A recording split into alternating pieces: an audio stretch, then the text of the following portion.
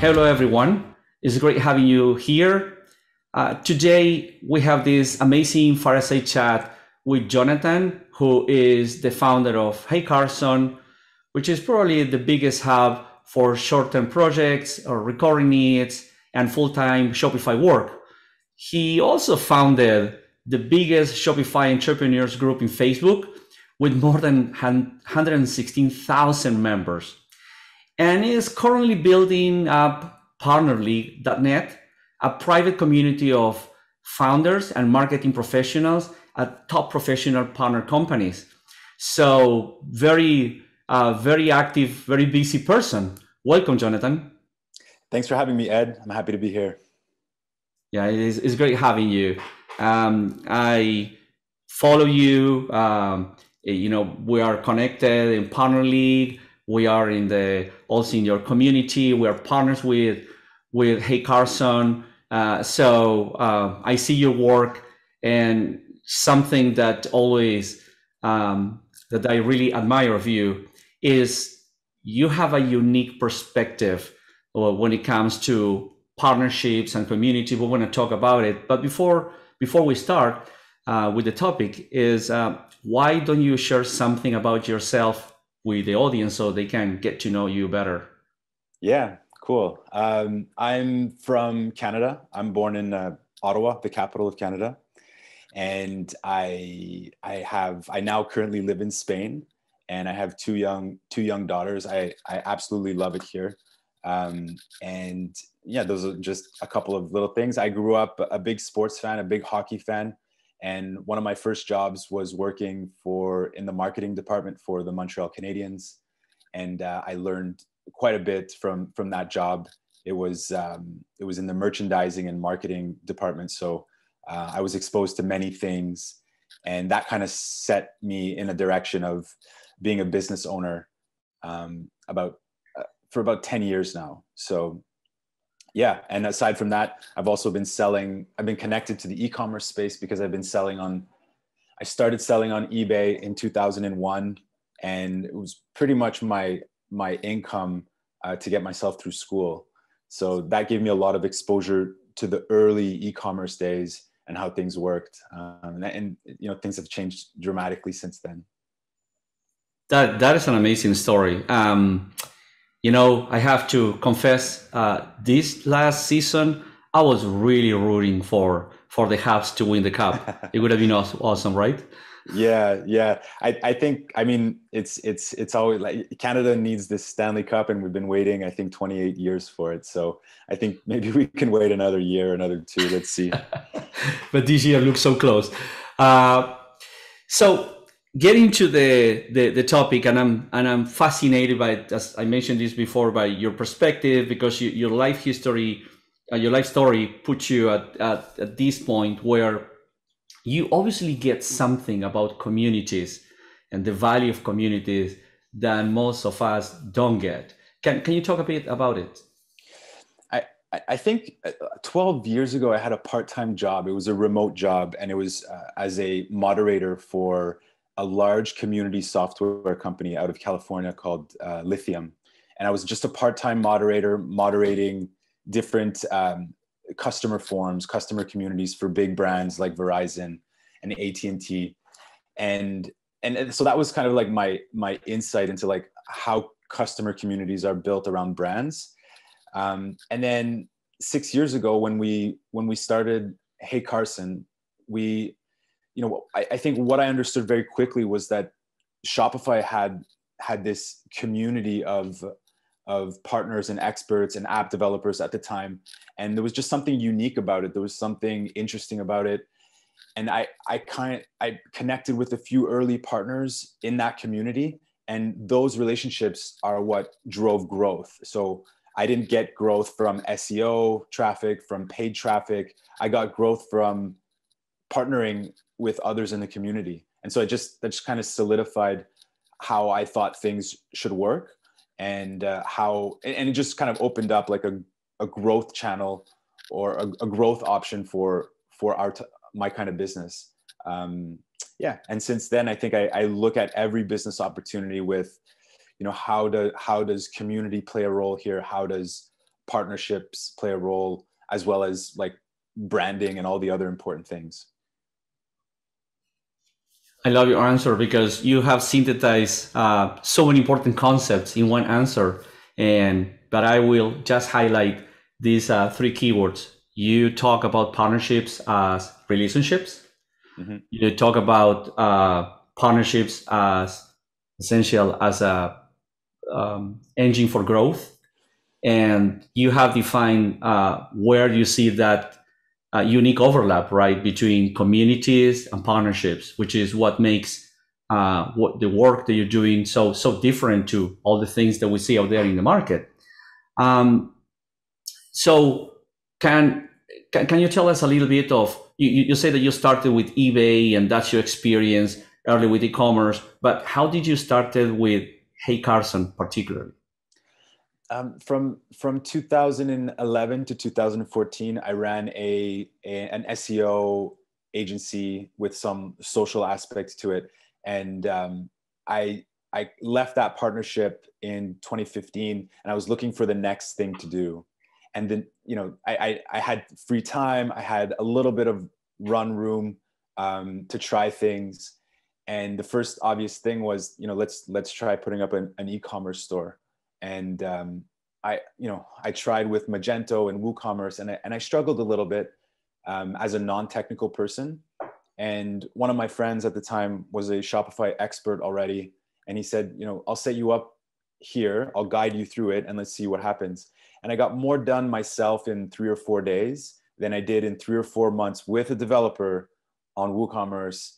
Um, and it's not to say that those platforms aren't aren't great because they're absolutely good platforms, very flexible.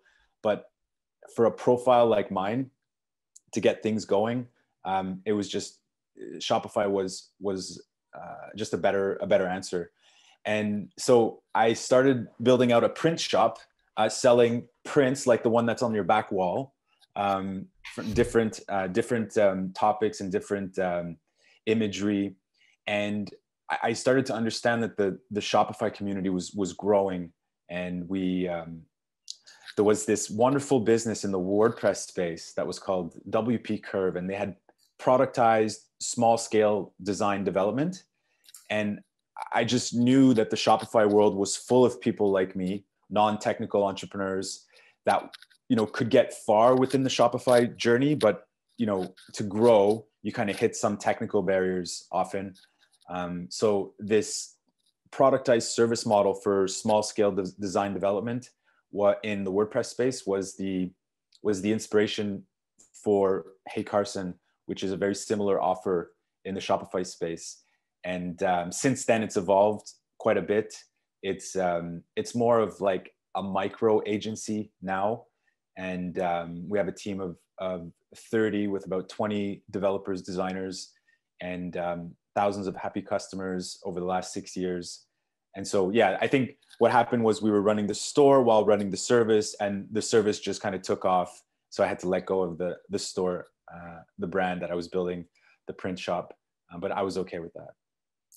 I love these stories when you see uh, when when some when we see a successful business, we uh, you know it's, it's common people ask the question how how did you figure this out? How did you come up with the idea? And it's rarely like a eureka moment, right? Is more like you describe in your own case, a, a, progression is is being there, experiencing the thing in, in first person, led you to understand, and and then what if I do this? What if I do that? But I, I love that that progression. Very very interesting. Um, and you mentioned something that before starting Hey Carson, uh, you were working in agency with SEO, and most, if you can call traditional digital mar- uh, marketeers, we have this kind of a Bible like, oh, first you have to do your SEO chores, right? Mm-hmm. And SEM and do these basic things, then move to partnerships. Um, but then you're here and you really recognize how, well, maybe through partnerships, I can grow faster and faster you grew, right? So it, it is, I, I like your experience on how you're seeing partnerships, not something like to accelerate growth or to catalyze, uh, a, a, big part of the curve that is happening, but actually to start the growth in itself. Is that a fair understanding of how you see it? Yeah, I, I mean, just to just to go back, I think uh, the the the experience I had with SEO was, I mean, it was very tumultuous. Uh, a lot of changes between 2010 and 2013, very discouraging, and and, and a couple of our a couple like the business really relied on on understanding SEO more than other people or more than our clients at least, and it, it became very unpredictable. When we started Hey Carson, I, I'll like I think we started thinking about SEO and organic traffic probably early this year. So we we all but ignored it completely um, because the first yeah the, the first little growth engines came from partnerships. We we were able to connect with a theme company that had a need for small scale a need to send merchants to a small scale support service and um, they didn't have this so when we presented it to them they were like, put up the landing page for us tomorrow and we'll start sending people. It's exactly what we did. And that was really the catalyst for growth. And ever since then, I'm just like a, a bigger believer in that than, you know, I mean, I, I think SEO and organic traffic are important, is important, but you know, I, I I've operated now with it in the back um, and successfully. So I think, um, you know, I think it's, it's just the way things worked. Yeah, lovely. And that's exactly what what we do in Everflow, helping companies do that. And we see this happening um, and how partnerships can really accelerate growth for companies. But it is uh, fascinating how you discovered this through uh, your own service, like your own experience. So now we are uh, talking, we're straight at the core of you know of the the topic of solution providers there are so many uh, amazing services out there, right? From templates to agencies doing design, funnels, yeah. copyright, so many things out there, right? Um, how do you see uh, solution providers approaching partnerships today in a way that really help them grow faster? So, yeah, I, I just think that a lot of solutions and a lot of like apps are approaching agencies agencies are looking for technology solutions i think what's still what's still a little too prominent is a lot of these partnership programs are leading their conversations with you know commission structures and referral fees and and kickbacks. And i, I just think that's it, what has worked for us has fewer is is fewer relationships more focused and having your solution or your app fit into the the the, the flow of the other company's service or app experience delivery. So i'll give you an example. Um, you know we we do we do small scale design development at hey carson. We're not in a position to refer email marketing tools very often. So you know if we get approached by an email marketing app it's great. We'll have the conversation. We'll maybe do some co-marketing or co-content but we can't work that email marketing tool within the our service flow. So naturally the commission structure i mean it's it's secondary like it's it's not important to us right we want to improve the experience of our of our merchants so what we're looking for we do a lot of theme customizations we're looking for apps that you know extend the theme capabilities or make our developers lives easier when we're delivering these projects. So, so that's kind of the type of partnerships that we're we're open to and we're looking for. Um, and I think just to come back to your question, really thinking when you're engaging with a partner, is this is that app or solution a part of your normal service delivery? Um, if not, it's okay to just consider it like a co-marketing uh, or, or co-content creation partnership and not get into the weeds with like a, a very integrated partnership. Um, yeah.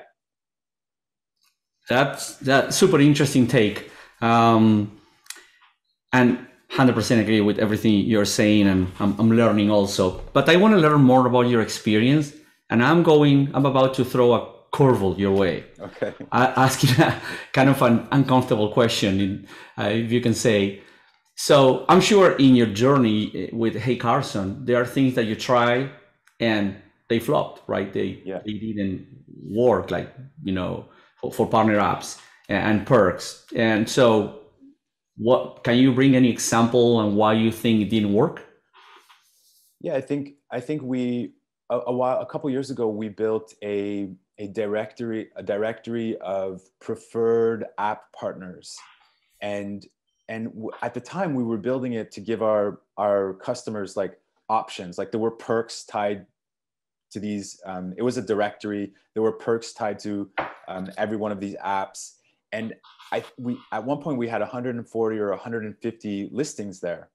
And the reason looking like it wasn't very effective. It looked nice. It was this wonderful catalog directory of things merchants could go through and explore. But actually they were coming to hey carson for service not for you know to find app solutions necessarily.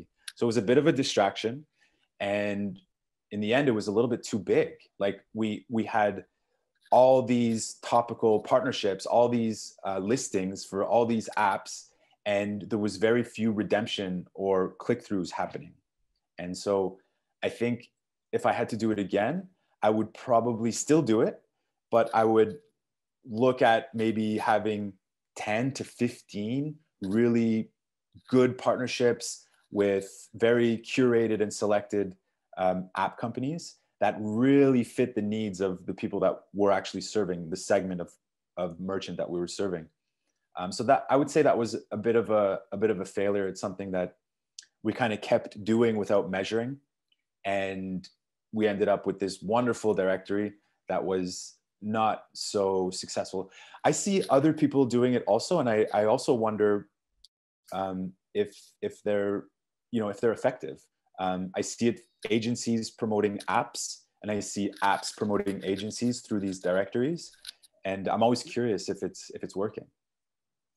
Yeah, it's an it's an interesting topic, right? And I, I really appreciate you, you sharing so openly that case because I would say 99% of us driving partnerships have a, a section like that director or dreaming having something richer like that director is going to drive value by itself and when you ask clients and do some research um, in, in my experience is most of the time the number one reason why they will get into such a page is to see uh, do you have any recommendation? It's, it's looking more like validation. Mhm. do you work with these guys? Yes i do. I have this uh, i'm mentioning this on the directory. Oh they have a relationship. So somehow they're checking that and that's it. Rarely they will go deeper and say okay now i want to figure out what type of integration all the technical details. So most of the time is are you playing the tech stack? Are you playing with this technology? Like a quick validation quick reference and rarely really drive a decision from them. So yes, we put a lot of times on um, so much emphasis, right, on that directory, end up nowhere. And I confess I'm guilty of that mistake Yeah. as well. but I, I I think I mean there's there's some good things that come from it. There's there's obviously like um, you know authority and like backlink backlinking happening, but I this is where I think I really believe like a smaller but stronger directory could be way more impactful.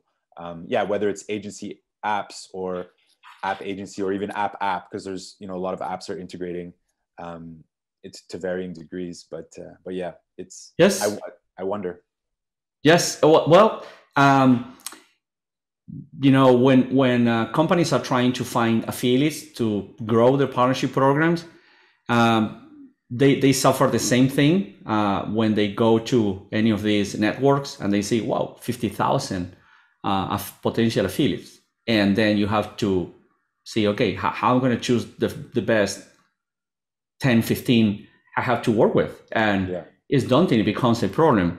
Um, so uh, it, it is that the third time that you mentioned the word focus, right? Focus, focus on the short list, the ones that drive value, the ones that make sense is quality and focus as opposed to uh, big list. And the directory just reinforce uh, that idea. Um, so you obviously did things that work very well with your with your partners. You just mentioned a, a great example for for everyone to learn from your experience about what not to do. Can you share what a, a- an example of something that really you did in Carson, in Hey Carson, that say, oh, that was that was a great idea, a great practice, and really helped us grow faster?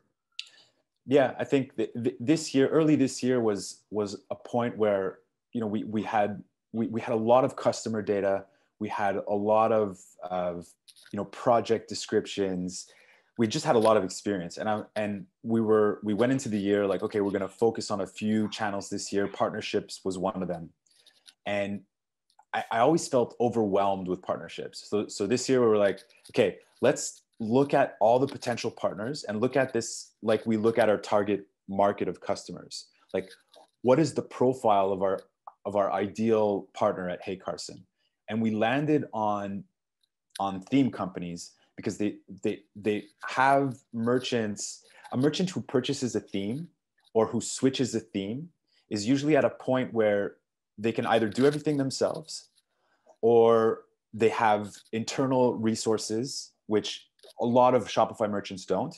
Or the third option is they have to go out and hire contractors or help.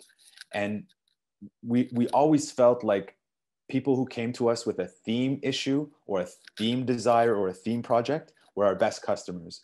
And they were being referred to us uh, by some of these theme companies through official and through unofficial referrals. And, and so we just decided to focus on themes this year um, and positioning ourselves as an authority on the topic. So we we worked with a lot of theme companies this year um, on creating content.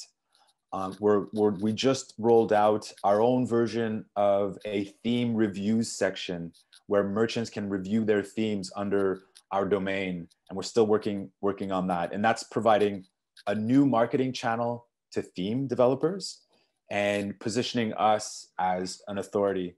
So this is the direction we're on now. We're, we're already seeing nice results. We'll happily have conversations with app companies and agencies just to kind of meet and network and discover. But when it comes to content, when it comes to actual like deep effort, we're focused on theme developers, and and I, I really feel like it's it's paying off. Um, but you know we still got some work to do. But it, the you know it, we're putting things out there and and like we're we're trying to offer more value up front and our theme partners love it. They're like oh you're doing this for us um, before even asking for anything. And I, I think that's the best way to go about it. I just wish that we had more opportunities to meet them in person you know like i think i hope that's going to come back because um, early on when we developed partnerships and the reason partner league, for example, exists is because I've I've been able to meet a lot of the Shopify partners in person. And so there's already that human connection despite us being everywhere in the world. Um, but yeah, I think really narrowing in on who your part your ideal partner persona is and and not just kind of throwing everything against the wall is is a good exercise you know for bit in business in general when you're setting up a business but also in, in a partnership uh, within partnership efforts. Yeah. Yeah. I can't agree anymore i i, I love these answers yeah so when you think about uh, this uh, thing about the typical agency out there uh, can you mention something you've seen some of these solution providers doing that really help them? Any any success you've seen in the community with some of your partners and say, oh, this was something really smart. It's really draw a lot of value for clients and for the growth. Any any example so, that comes to mind? So you mean an app company that's kind of engaging? Yeah, a, a, third party you partner yeah. with, you interact with, and something yeah. you see that say, I like this. Yeah, absolutely. I think I, well, it's no, it's no um, it's no secret that a lot of solution companies are are creating partnership departments or even hiring their first partner manager and really investing in in this in this idea right and what, what i like in what i'm seeing from shopify apps is you know shopify apps want to integrate with each other um, but they also want to partner with agencies and service providers and the integration with another app is it's not simple, but it's like, hey, let's come up with an idea that that's going to serve our common clients and create that solution uh, as an integration. but agencies i mean agencies can only handle so many tech partners right and and so they have to be selective they have to fit within their service delivery like i was mentioning earlier. And what i what i've been seeing this year that i like is simple things sometimes like an app company putting together a a list of expert quotes on you know shipping or or on supply chain management and reaching out to agencies or agency founders or representatives giving them the quote and then promoting that article around. And i think that's a that's a nice example of doing something for a partner first that you know it, it shows like that that you you see them as an authority in the topic and you're highlighting that to your audience. So the agency founder is like okay i've been highlighted to this new um, this new audience that's relevant to me.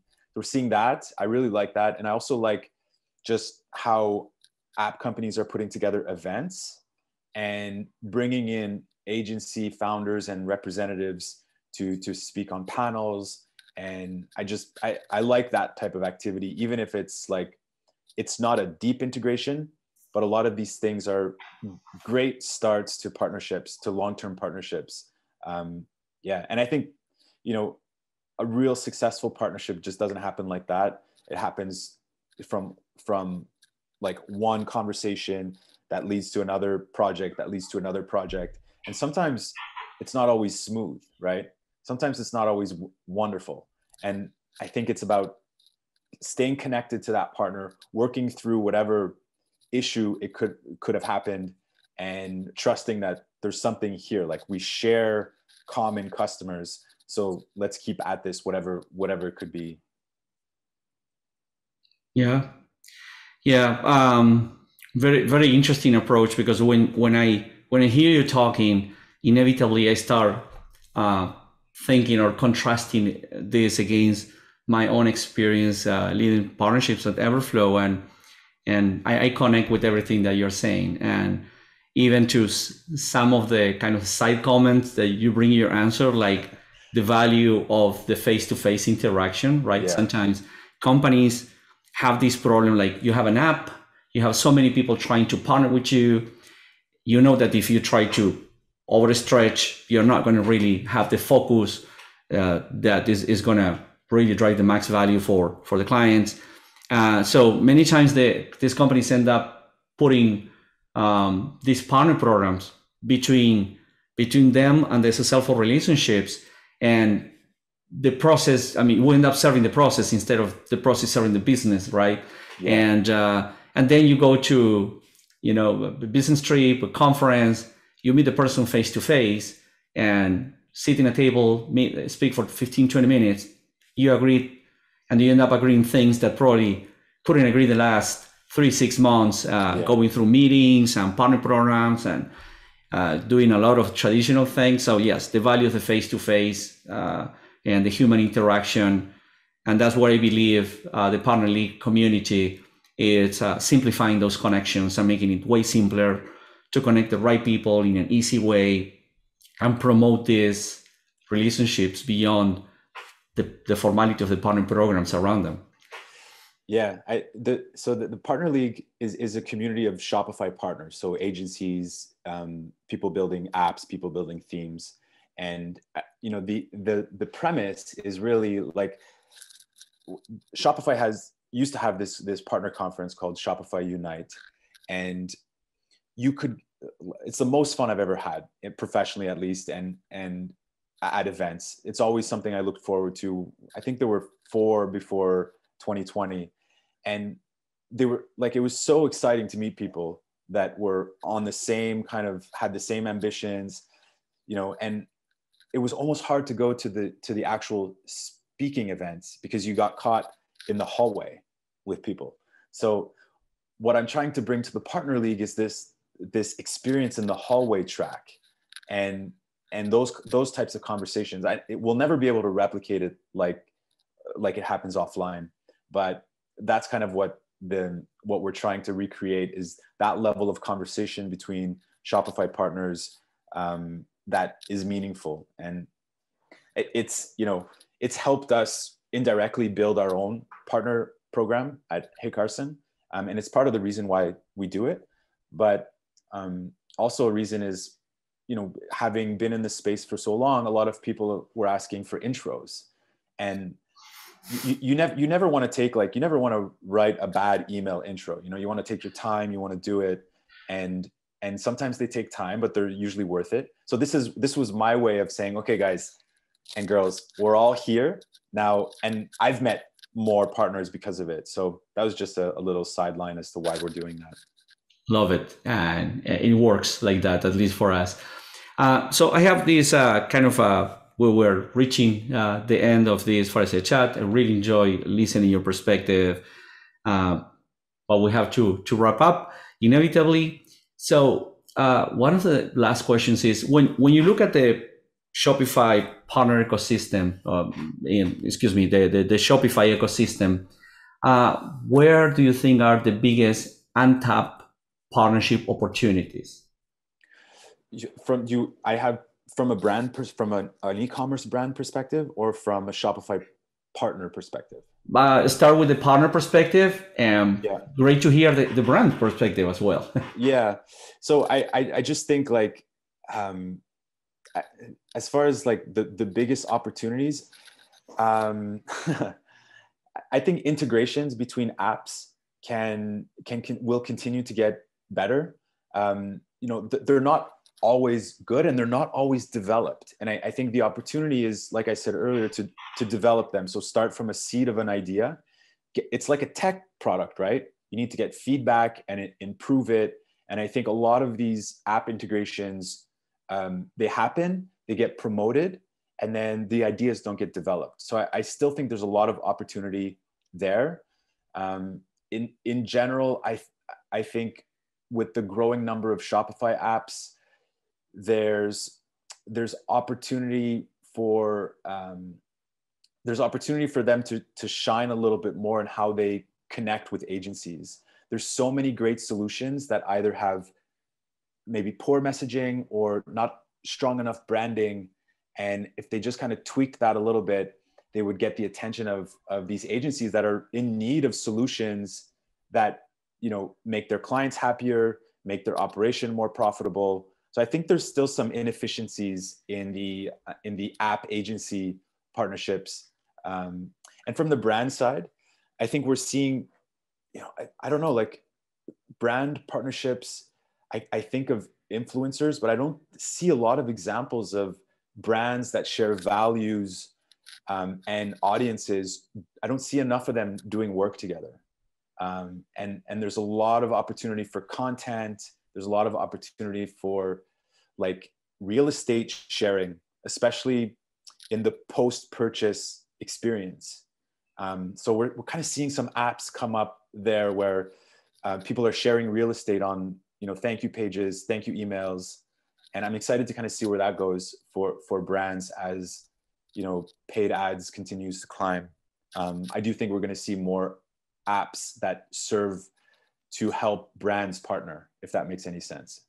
Uh, absolutely. We're seeing the same trend uh, the same trend because ultimately is you're getting you're getting the shoes you're getting the purse uh, why not getting a matching scarf? So oh, great exactly. upsale opportunity, the right moment, lowest friction possible, just monetize it. Absolutely. Um, so w- when you think like two, three years down the road, right? Um, what do you think will be um, more demanded by these uh, e-commerce merchants from these uh, Shopify solution providers? What what are the things you mentioned? One possible, which is the apps to do this, right? Sharing real estate and uh, leverage each other. What, what what are the things you think will be more relevant um, and to really be successful uh, serving these brands and tapping opportunities in the particularly in the Shopify ecosystem three years from now? I, I think we're already seeing a, a lot more if I if I if we look at services, we're seeing a lot more specificity in how service providers are delivering their service. So you so you have you, you don't have email marketers anymore. You have Klaviyo specialists, right? You don't have you don't have uh, customer service consultants. You have uh, Gorgias integration experts. So you, you you have this specificity that's that's happening with like a second wave of of platforms that are being built on Shopify. Um, people are specialists in this or that, and I, I just think that's a result of so many technologies being presented to brands that like a solution that's specific is going to be more um, convincing or, or more attractive than a general solution. Like if you drive a bmw you know you you can go to the bmw mechanic or you can go to the general mechanic. The, the you know price might be more but the the offer is stronger there. So we're going to see a lot more of that. And for me as a service comp as a you know as a design and development service company i just love seeing all this new tech because the more innovation there is the more i believe brands need help putting the pieces together. And and so like everybody likes to say services like this or that and you know apps are the way to go but i'm very i'm very bullish on um, being a service service provider in this industry because it's like there's always going to be work um, and and if you can have get that good messaging and get clients to trust and, and come back for you know a second third fourth fifth project um, then you'll be in a, a good position and you just described the partnership flywheel in the shopify ecosystem because yes. as it becomes more and more specific as you describe uh, so gets the diversity and slash complexity of the marketing tech stack which drives more of the need of the services that agencies can drive. Because as you mentioned, integrations are not perfect or not integrations are where they're supposed to be, right? Yeah. yeah. Uh, so they end up feeding each other. And uh, if you want to solve for CRO on your website, well, you will get these amazing tools, but someone needs to look at the CRO from a holistic perspective, yeah. hence the agency services. Um, so this that's a number one reason and incentive for solution providers to partner with technologies and help clients and keep uh, growing. Interesting take, very interesting take. Uh, Jonathan, um, I really and loved having you here. I, I, love your your candy answers, which are based not on, on thoughts but on real life experience, which is very rich. I really appreciate having you here. And we opened this today mentioning uh, the communities topic, right? Um, if if you have to uh, imagine um, three years from now, where do you imagine um, your two biggest communities? Uh, where you think they will be? Where you imagine Partnerly being? Where do you imagine this Shopify entrepreneurs community that you have on Facebook, which happens to be probably the biggest one out there? What do you imagine them three years from now? Yeah, I don't know. I, so the Shopify entrepreneurs community has been running for for seven years on Facebook's group product, um, and it's it's been it's been getting a little bit more difficult um, as as things change on Facebook. So I'm hoping that that one will still be around, um, but it's it's let's see let's see what happened. Like this is an example of building on somebody else's land, and I've been doing it enthusiastically for the past seven years. Um, so let, let, us see. I'm still involved there every day. I enjoy helping merchants with day-to-day problems that i can help with or calling in other experts that i know you know can help. So that's always a lot of fun. I hope i'm still doing that in some way. The the partner league is a private community on slack slack doesn't necessarily build build their product for communities they build them for teams and we're currently working on um, an extension that will work with Slack. So I'm I'm very bullish about the Shopify partner space in the next few years, and um, I'm very excited about connecting with these people. And this community is growing. It's growing a lot slow, a lot slower, but that's okay. I think it's not meant to be a really big community. It's meant to be like a focused and valuable community for for members. So I think it'll still be around. Hopefully, maybe maybe not entirely on Slack and um, have some other features to it that will be interesting. That is awesome. I, I'm, I'm sure Partnerly will continue to grow, to grow as well as the entrepreneur entrepreneurs community. And in a way, you are uh, proving to break an old mantra uh, of you know communities. When you build when you build a community, uh, there is this common wisdom that eventually you will lose control of the community in the sense that it will grow by itself so much content generated and the participation of the members will make will make it so big and you are not going to be uh, more driving that growth it will be like a self-sustained and uh, but uh, you're proving how uh, like by managing the community and staying focused on on the right focus on value it, it makes sense to keep uh, like a tight management on that. So it continues to drive the value it's supposed to um, yeah. and avoid what happened so to so many communities in the past that they end up dithering and dying because of that lack of governance and control. So um, you, you, are also uh, writing a little book about making communities work on the long run. I, I think i'd be i'd be remiss if i didn't say that the way that Shopify has built and run their communities is is is a pretty good example for a lot of us. Um, they're getting very very big now, and the partner community is one like you just said that has kind of taken on a life of its own, um, where partners themselves are building communities, they're building solutions for each other. Um, Everflow is an example of a solution that a Shopify partner can use. So there's a lot of this like this uh, momentum happening under Shopify, and I've taken a lot of uh, example from from that, and uh, yeah, I think um, just an exciting an exciting space to be in. Absolutely, Jonathan. Thank you very much for your time today. Uh, today it was lovely having you here. Yeah, thanks, Ed. I appreciate it. It was it was very cool. Thanks.